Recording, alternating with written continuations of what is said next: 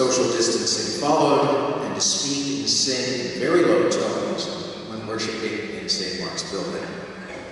Specific instructions regarding Holy Communion are printed for you in our bulletin. All who trust in the risen Christ is present in the elements of bread and wine are welcome at our Lord's table. If you are joining us today by way of video, this worship service is a recording and is not a live stream. Its bulletin can be found on our website and Facebook page. Show appreciation Gary Weber as our videographer, our lectors, cantor, song leader, communion assistants, and our organist as well. We begin with our brief order for confession and forgiveness. I ask those who are able to please stand.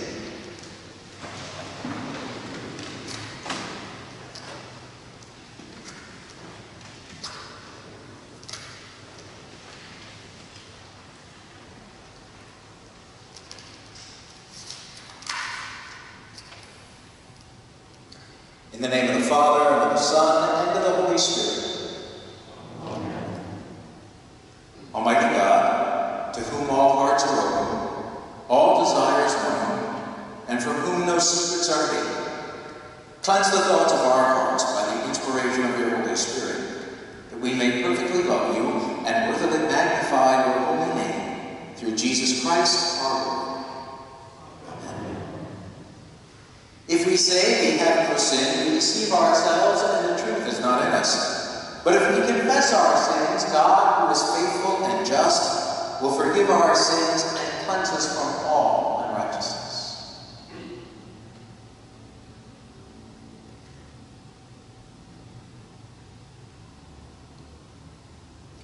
Most merciful God, we confess that we are in bondage to sin and cannot free ourselves. We have sinned against you in thought, word, and deed, by what we have done and by what we have left undone. We have not loved you with our whole heart. We have not loved our neighbors as ourselves. For the sake of your Son, Jesus Christ, have mercy on us. Forgive us, renew us, us, so that we may delight in your will and walk in your ways to the glory of your holy name.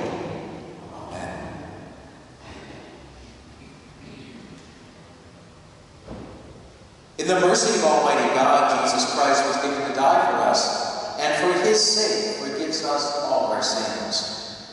As a called and ordained minister of the Church of Christ, by his authority, I therefore declare to you entire forgiveness of all your sins. In the name of the Father, and of the Son, and of the Holy Spirit.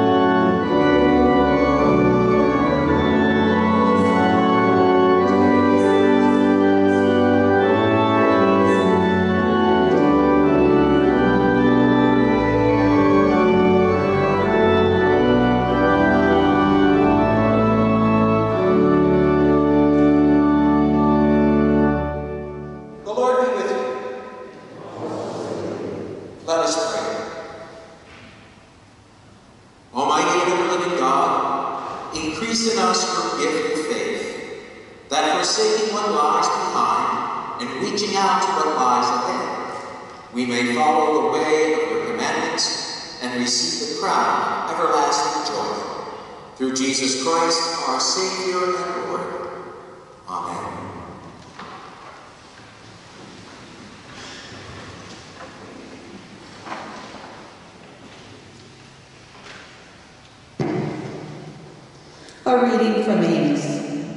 Seek the Lord and live, or he will break out against the house of Joseph like fire, and it will devour Bethel with no one to quench it. Ah, you that turn justice to wormwood, and bring righteousness to the ground. They hate the one who reproves in the gate, and they abhor the one who speaks the truth. Therefore, because you trample on the poor and take from them levies of grain, you have built houses of hewn stone, but you shall not live in them. You have planted pleasant vineyards, but you shall not drink their wine. For I know how many are your transgressions, and how great are your sins.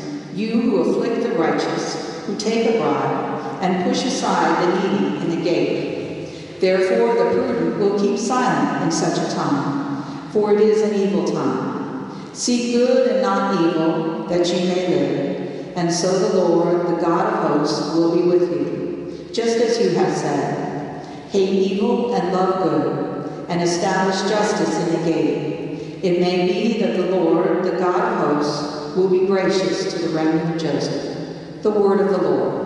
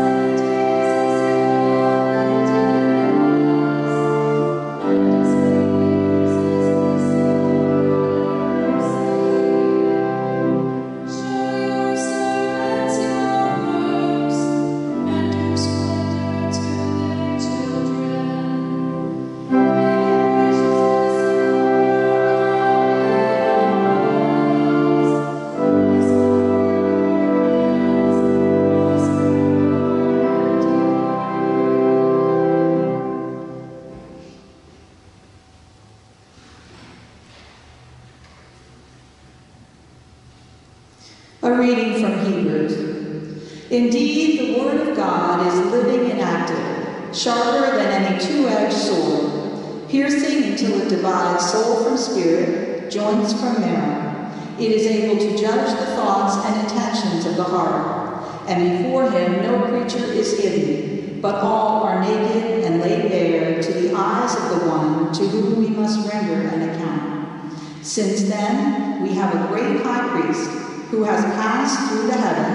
Jesus, the Son of God. Let us hold fast to our confession, for we do not have a high priest who is unable to sympathize with our weaknesses, but we have one who, in every respect, has been tested as we are, yet without sin. Let us therefore approach the throne of grace with boldness, so that we may receive mercy and find grace to help in time of need. The word of the Lord.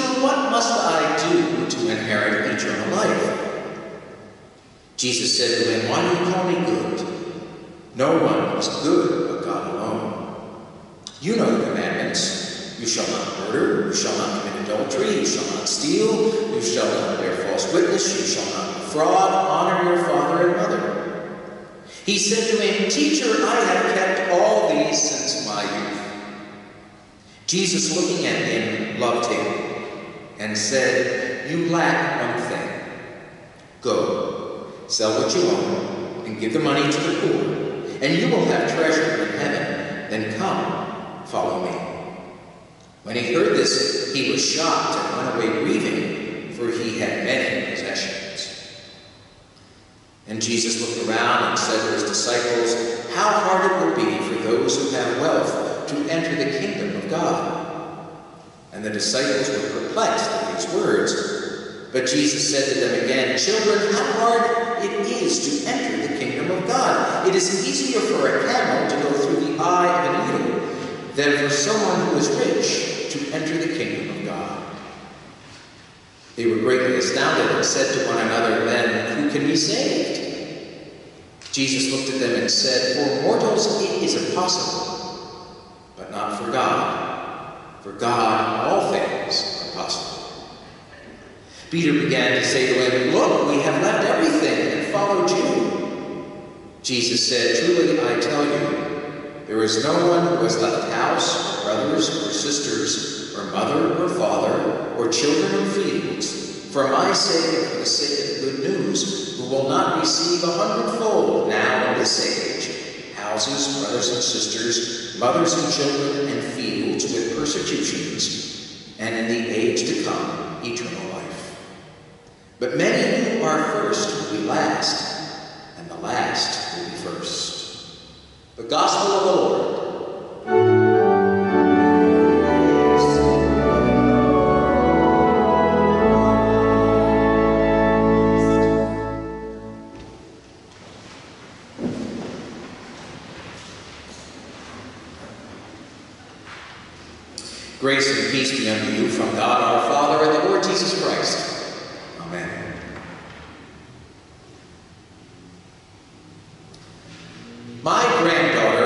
Loves Elmo of Sesame Street fame, and she associates anyone with a laptop or a phone to be an Elmo provider. As soon as she sees me enter her home with my laptop case, she says, Hi, Elmo? She would watch Elmo 24 7 if it were up to her. One activity Elmo does that she is very fond of is follow the leader, or as Elmo calls it, do what Elmo does. And she does it. She knows how to play that game very, very well. Follow the leader. Do what I do. It's a game we've all played in our younger years. In our gospel for today, Jesus teaches that his followers are to follow him with the same enthusiasm as children have when playing the game, follow the leader. To let Him lead, to believe in what He says He does, to look to Him as the identity He shares, to acknowledge that in following Him there are great benefits forgiveness of sins, life eternal. Mark tells us in chapter 10 Jesus is setting out on a journey when he encounters a man who asks him, Good teacher, what must I do to inherit eternal life? Interesting way to ask the question. Since when do we have to do something in order to inherit something? You inherit based upon what another wills, how another sees you, whether or not another considers you an heir. This man looks upon eternal life as a commodity, something you can earn, something you can bring about by the right words or the right actions, maybe even something he can buy. His desire to possess eternal life is so strong that he is willing to try anything in order to receive it, even flattery. Look at the way he addresses Jesus. Good teacher. In the first century, good teacher was quite a compliment. Jesus answers the man, Why do you call me good? No one is good but God alone. You know the commandments. Don't murder, don't lie, don't steal, don't commit adultery, honor your parents. Jesus, in his response, steers the conversation toward obedience, toward following God's commandments. Why do you call me good? Why are you attempting to flatter me? says Jesus. Jesus then cites all those commandments involving how we treat one another, teaching that God's law is kept by loving neighbor. Jesus teaches that this is the way of God, the way of God that brings life now and for eternity. The man says he's done that. He's kept all these rules and commandments since his youth. Jesus does not challenge his integrity. He does not challenge what the man says. Jesus looks at the man and loved him. Loved him enough to tell him the truth. You lack one thing. Go, sell what you own, give the money to the poor, and you will have treasure in heaven. Then come and follow me.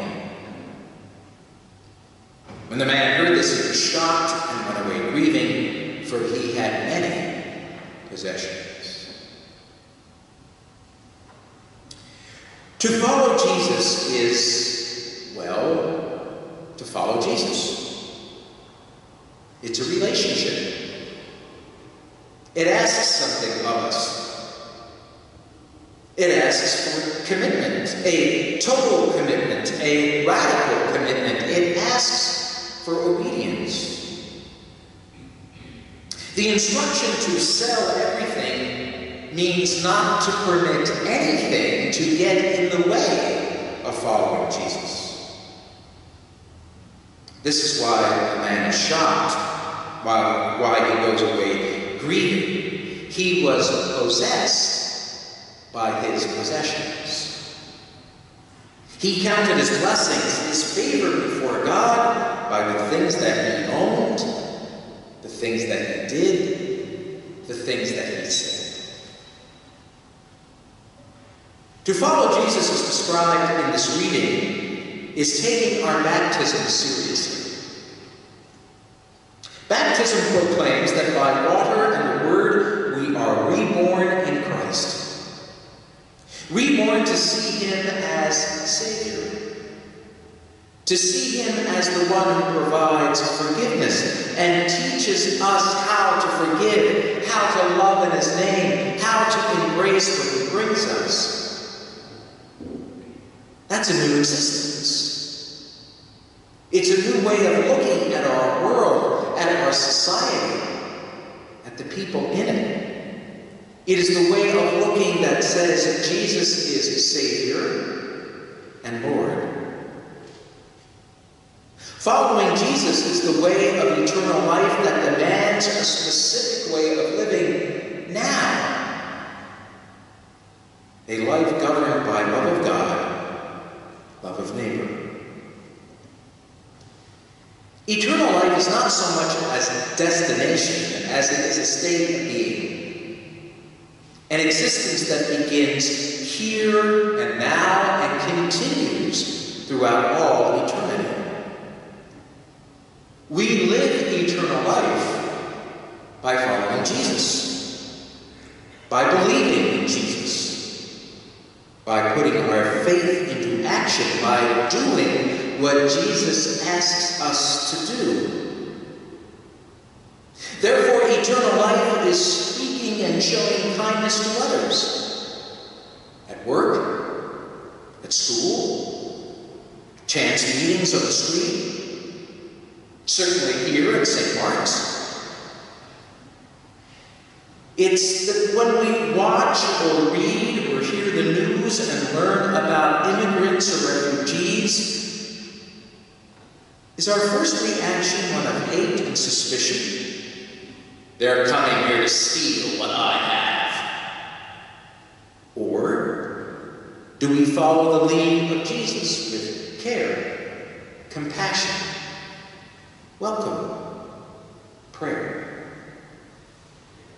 When the numbers relating to COVID soar, which they seem to do almost every day, do we look for someone to blame who's not wearing their mask? Or do we grieve and ask God for guidance and to strive to communicate truth in love? Do we see today as an opportunity to take action and to make our earth a better place to live by participating in our crop walk? Remember, CROP is an acronym for Communities Responding to Overcome Poverty. Or do we say, well, you know, I'd really like to participate, but it might interfere with watching the football game? One community of which I was a part, I'm sorry to share, actually would schedule their walk around when their favorite Pennsylvania team was playing so as not to interfere in the activity and the game. In other words, the afternoon of the walk would have to be Sunday when the team was playing at 4 p.m., or Sunday night, or Monday night, or Thursday. And, and, by the way, I had nothing to do with scheduling the walk. I had no idea that the Bills play tonight, okay? Our first priority is Jesus as Savior and Lord. Eternal life is a state of being, a life to be lived now. Diana loves to follow to do what he does, to sing songs to follow his lead. Think what would happen if we would follow Jesus with the same zeal and enthusiasm. Good teacher, what must I do to inherit eternal life? And Jesus said, Follow me.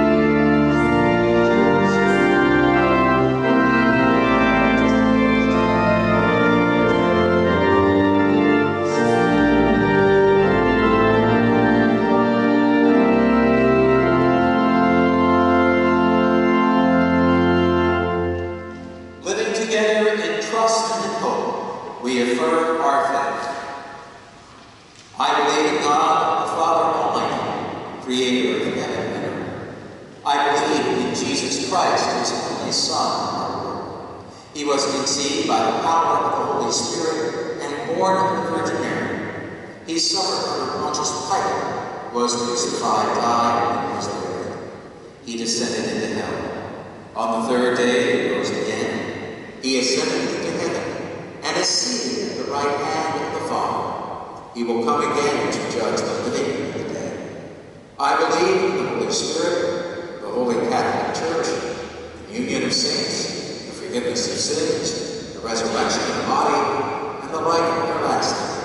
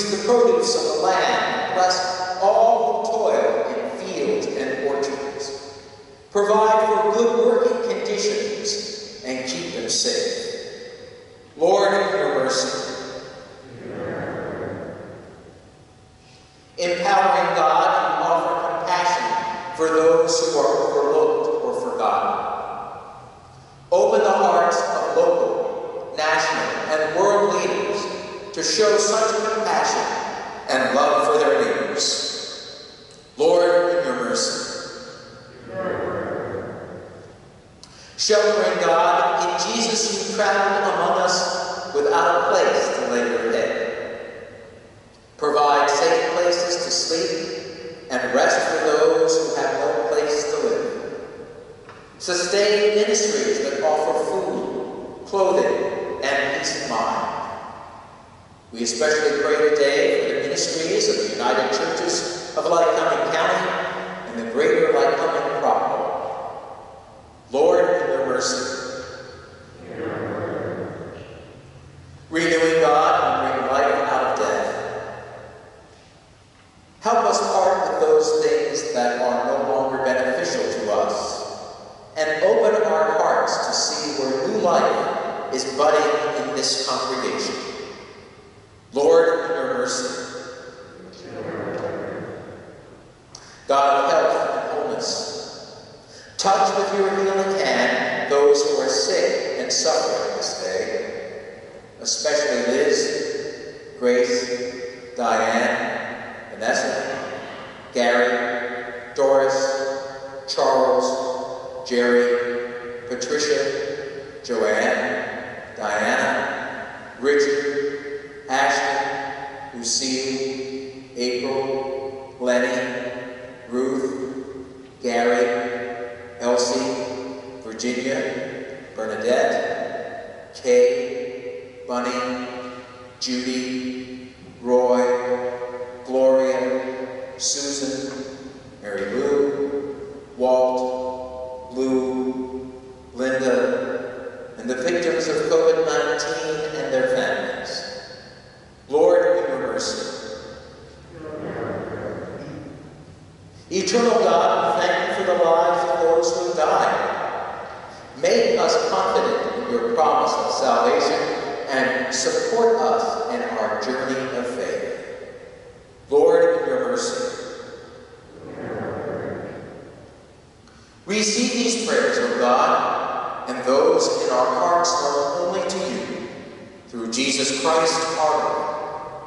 Amen. The peace of the Lord be with you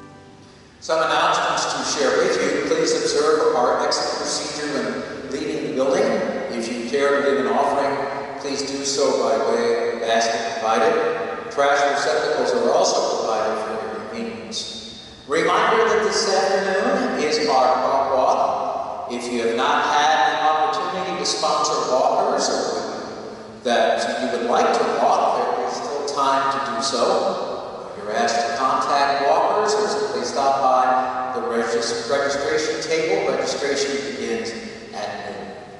First communion classes begin next week. Please note the information in your bulletin regarding the first communion classes. I ask you to take note of the many activities and ministries that are scheduled for the near future in our community as well as here at St. Mark's. Please stand for our communion prayer as well as to receive our blessing.